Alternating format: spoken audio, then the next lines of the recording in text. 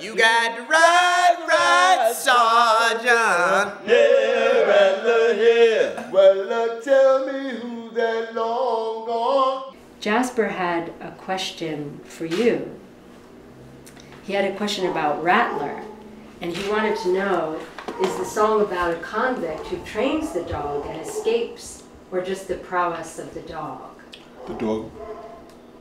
Well, it's both. It's both. It's both. Crooked Foot John is a hero. Uh, because you couldn't tell which way John was going. I can't do the. I can't make that rhyme, but they could. Uh, he, he, he- could- you know, which his foot was. And Rattler is a, a heroic dog, and even though the dog is chasing them, it's like an adversary you respect. I first became familiar with the song in the uh, 1970s, and I uh, worked with a guy by the name of uh, Henry Afro Bradley. Uh, the way that he uh, set it up, it was a convict who outsmarted the system, trained the dog, and was able to teach the dog not to uh, follow him.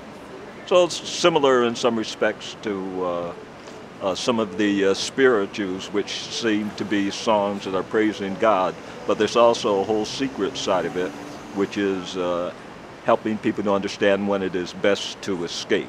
So it's kind of a lot of the songs had two different, you know, meanings to it. Uh-huh. Oh, oh, oh!